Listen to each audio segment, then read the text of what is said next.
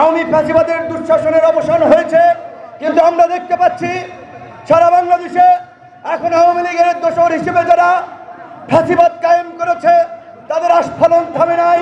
এই রংপুরের মাটিতেও গণ অধিকার পরিষদের নেতাদেরকে নিয়ে কুরুচিপূর্ণ মন্তব্য করা হয়েছে, কটুক্তি করা হয়েছে। আজকের এই সমাবেশ থেকে আমরা তার তীব্র নিন্দা প্রতিবাদ জানাই। আমরা পরিষ্কারভাবেই বলতে চাই এই আবু সাইদের রক্তে ভেজা রংপুরের মাটি, ছাত্র জনতার রক্তে ভেজা সারা বাংলাদেশের মাটি, রক্তের দাগ এখনও শুকায় নাই। আওয়ামী লীগের পুনর্বাসনের যারা চেষ্টা করবে, ছাত্র জনতাকে সাথে নিয়ে তাদেরকে সমুচিত জবাব দিতে হবে। এই গণ পরবর্তী বাংলাদেশে ফ্যাসিবাদের কোনো জায়গা নাই। আগামীর গণতান্ত্রিক বাংলাদেশে আওয়ামী বাকশালীদের কোনো জায়গা নাই। আওয়ামী লীগের দোষরে যারা ছিলেন, তাদের কোনো জায়গা হবে না হবে না।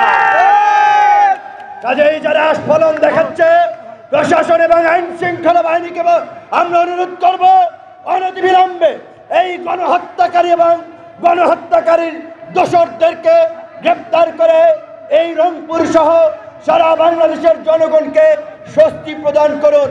আপনারা যদি আইনগত ব্যবস্থা নিতে ব্যর্থ হন, জনগণ কিন্তু আইন নিজের হাতে তুলে নেবে।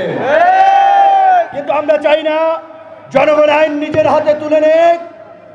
ছাত্র জনতার রক্তাক্ত লড়াই সংগ্রাম প্রাণ দানের মধ্য দিয়ে যেই পরিবর্তন এসেছে সেই পরিবর্তনকে স্থায়ী করার জন্য আমরা এই সরকারকে স্থিতিশীল করতে চাই আইন শৃঙ্খলা বাহিনীকে সহযোগিতা করতে চাই এবং আগামীর বাংলাদেশ বিনির্মাণে তারুণ্যের যে রাজনৈতিক দল গণ অধিকার পরিষদ, সেই গণ অধিকার পরিষদের নেতৃত্বে আগামীতে সারা বাংলাদেশে একটা গণজোয়ার তৈরি করতে চাই, সাধারণ মানুষের ক্ষমতায়ন করতে চাই। এই পিছিয়ে পড়া রংপুরকে আমরা গণ অধিকার পরিষদ এগিয়ে নিতে চাই। স্বাধীনতার তিপ্পান্ন বছরেও এই তিস্তার যে দুঃখ, এই অঞ্চলের মানুষের যে ভোগান্তি, কোনো সরকারি তিস্তা নিয়ে কোনো সুষ্ঠু পরিকল্পনার মাধ্যমে এই অঞ্চলের মানুষের সমস্যা থেকে উত্তরণ ঘট- ঘটাতে পারে নাই। একটা ভালো চিকিৎসা প্রতিষ্ঠান নাই শিক্ষা প্রতিষ্ঠান রংপুর হয়েছে।